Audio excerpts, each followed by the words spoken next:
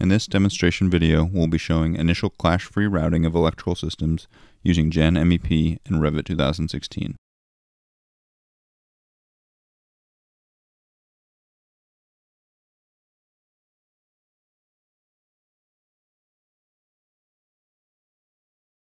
We open Revit and select a building that already has structure, architecture, and other MEP systems.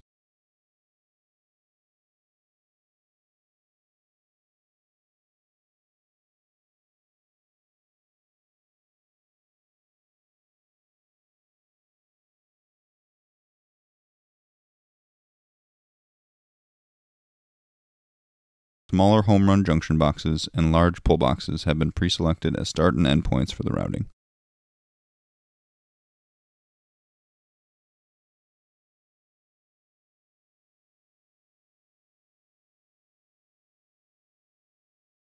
In addition, we've modeled intermediate route points that are within 15 feet of the electrical pull box, so the routes can be readily supported with racks.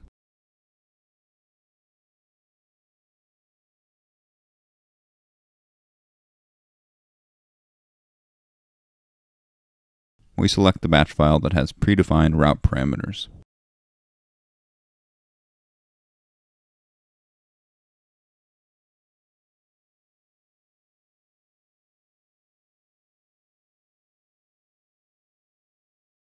Gen MEP then routes 45 routes in 33 seconds, clash free.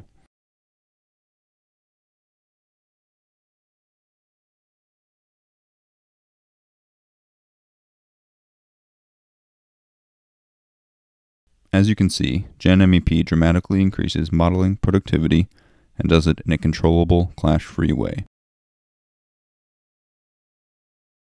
Check out our website for more videos which demonstrate additional data-driven routing, routing in high congestion environments, and routing within point clouds.